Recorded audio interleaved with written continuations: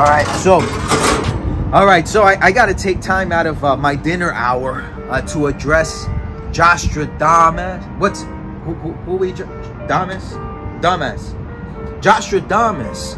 Uh, I believe he's a capper. I'm not sure. Uh, he provides uh, UFC predictions to fight outcomes, results, and he felt highly offended. If you're watching this video now and you have no clue who the hell this guy is, I didn't either until last week when my comment section to a video on Santiago Ponzi versus Meek Michel Pereira was spammed to death. All my followers heckled. And so it was said that he was offended because I had a stat card that I published on my video where he says I plagiarized and did not give him any credit for.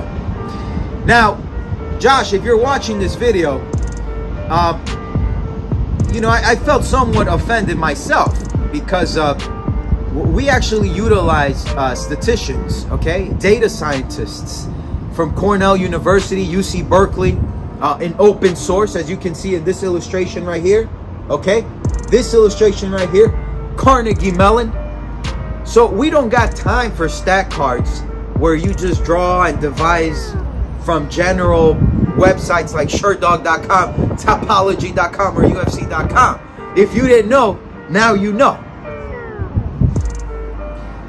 Besides all that, Josh, if you did not know, and for those following, he was offended because at the bottom of his stat cards, he credits himself as the creator, created by Joshtradamus. Okay? Josh, below that there's a column where you've used derogatory terms to express yourself to female fighters. And the likes of Santiago Ponzi, where you quote unquote suggest that Argentines can't fight. This is not anecdotal evidence, okay, Josh? This is empirical. Uh, there's no way I'm going to publish something that's marginalized. But I understand how you feel. All right, Josh? I understand how you feel. I want to apologize to absolutely no one. Thank you for the free marketing. My inbox is flooded, full.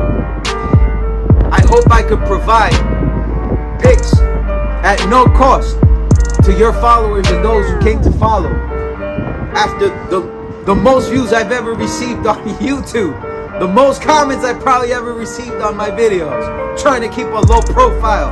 Okay? Making sure that Undefeated Bets is a community with high IQ folks for MMA combat, rules, and entertainment. You heard it here first. Undefeated Bets. It's your moment. This is it. As big as you're gonna get, so enjoy it. Had to give you a career to destroy it. Lethal injection, go to sleep six feet deep. I give you a beat for the effort, but if I was three foot